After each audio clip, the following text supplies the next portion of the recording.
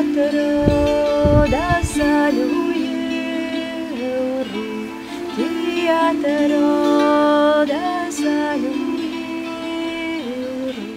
Dzēja, mūzika, stāsti par Jāni Poruku un vietas, kas aprakstītas viņa darbos. Tā ir dzējas tūre, kas šovasar astoņos posmos tiek izieta dzējnieka dzimtajā Druvienas pusē. Ceļā jau ir viss. Ceļā ir gan, gan eh, valodas, kāda šodien, šogad ir vasara, ja, eh, gan to, kā Poruks to ir aprakstījis, gan to, vai tad šī vieta varētu būt tā, ko Poruks ir aprakstījis. Un, un tad mēs jau te gan arī līdz strīdiņiem aizējam. Lasa par to mazo šūpulīti, tas spēlē melanholiskā valša melodiju. Un mums visiem ir aizkustinājuma asaras acīs.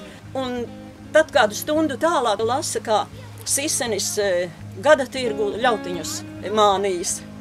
Un tas jau aiziet līdz lielai jautrībai, un tad es domāju, cik vienā ceļa posmā daudzveidīgs ir poruks. Sākam tajā vietā, kur iepriekšējā vietā beidzām. Šodien esam piektajā posmā, saucas tas pērļa dzirnavas. Kādreiz šeit ir bijusi ļoti liela vieta. Dzirnavās ir bijis pasts un kokzāģētava vēl bez dzirnavām, bet nu, viss, nekas nav mūžīgs, viss ir laicīgs. Kā Imants Ziedonis savulaik rakstīja, ka kultūra jau nav graudu kaudze, ko saved Rīgā. Kultūra ir katrā pagastā, katrā apdzīvotā vietā, ja tikai ir, kas šos graudus sēja un kas šos graudus novāc. Un, tad, un vēl Ziedonis saka, nedodiet aizmirstībai, celiet gaismā savas, savas apkārtnes skaistākos un gudrākos ļaudis.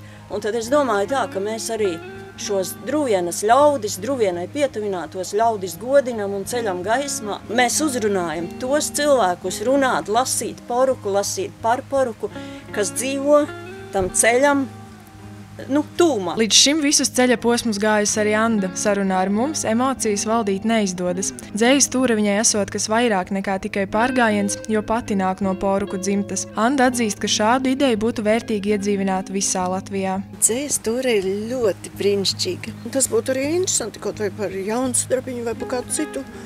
Tu aizbraucu un tu iepazīsti to pusi, to dabu, to rakstnieku tos cilvēkus. Visi turas posmi tiek iemūžināti arī digitāli. Plānots, ka filma, kuras pamatā būs stāsts par vēsturiskajām vietām, pirmizrādi piedzīvos 13. oktobrī, Poruka jubilejā. Tagad tāds laiks, un arī tas vēsturiskais materiāls, ja mēs par dzējām un darbiem Poruka zinām, tad tīri par vēsturiskajām vietām mēs īpaši nezinām. Tas ir muzeja materiāls un kamera bijusī muzeja vadītāja cilvēks, kas ļoti daudz materiālu savākus, ir gatava ar to dalīties, tad mēs šo lietu arī izmantojam.